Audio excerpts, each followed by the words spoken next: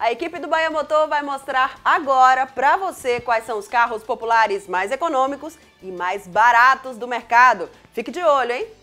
A gasolina aumentou, mas não, não se desespere. Você não precisa arrancar os cabelos, muito menos vender o seu carro para comprar um jegue ou deixá-lo em casa para pegar um buzu lotado.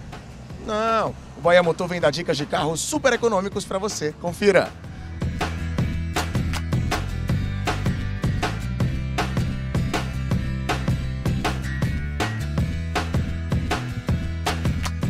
Para falar um pouco mais sobre isso, aqui no Bahia Motor a gente trouxe ele, Paulo Mascarenhas, que é empresário do ramo e também presidente da Soveba. Paulo, para começar, gasolina a R$ reais o litro, né? R$ 3,99. Então hoje a gente quer falar um pouquinho sobre esses carros que são mais econômicos no mercado. O mercado está aí, as pessoas procurando simplesmente economizar e nessa economia vem justamente nos carros que têm uma autonomia melhor. Então hoje nós estamos aí com uma lista de carros que são altamente econômico, porém muitas vezes ainda não cabe no bolso do consumidor.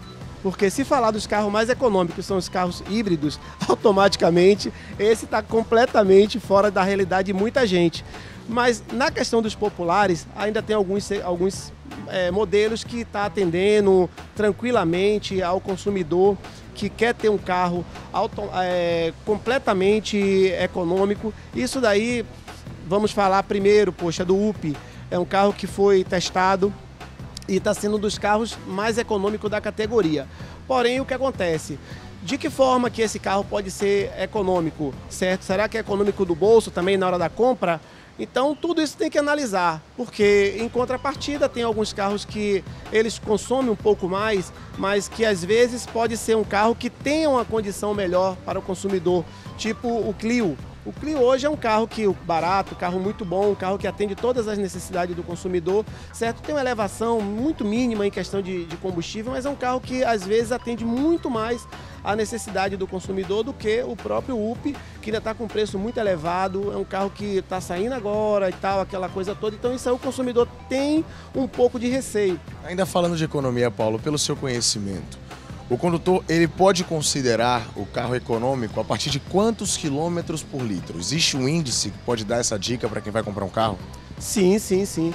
É, o que acontece? O que é que nós hoje vendo a situação da gasolina?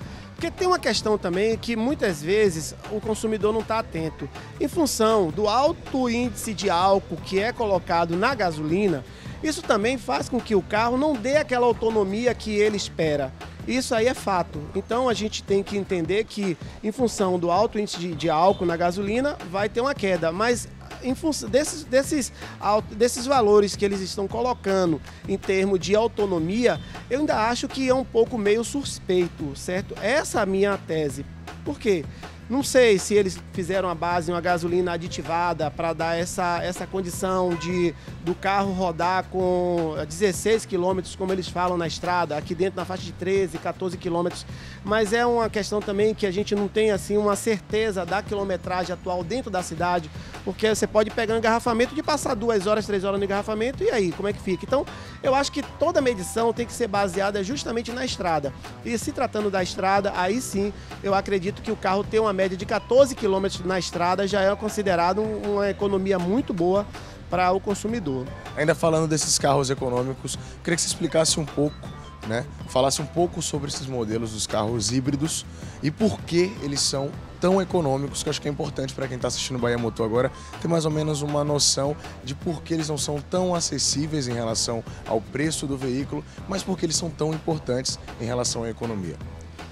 Até porque quando ele atinge um certo patamar de rodar com o carro a elétrica, isso aí faz com que economize a gasolina. Então é aonde entra essa questão da autonomia, certo? Não que ele rodando só na gasolina ele vai ter essa autonomia. Então existe um, um recurso por trás que faz com que esse carro seja realmente é, bem econômico. Então isso aí é fato. Mas para isso é como eu tinha falado no começo, o cliente ele tem que desembolsar um valor realmente muito bom para ter esse carro super econômico. Pois é, até porque são carros de pontas, né? Uma nova tecnologia que traz justamente essa parte de locomoção de forma elétrica, enfim, e não são vários modelos existentes ainda, né? A gente encontra pouquíssimos modelos no mercado e que custam uma bagatela imensa. Mas ainda falando dos modelos mais acessíveis, né? Os carros populares.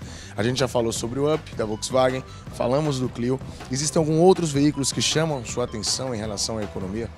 Tem, o próprio Uno também, da Fiat, certo? Que é um carro também super econômico, é aquele carro que tem aquela paixão nacional, né? Então todo mundo que pensa em comprar um carro, apesar de hoje é, ter essa dificuldade, já pensa logo no carro, por manutenção barata, um carro que é fácil de, de comercialização. Então o Uno também tem essas suas particularidades, entendeu? Então isso também é interessante. Para a gente encerrar o nosso bate-papo, vamos fazer o seguinte: dica do Paulo.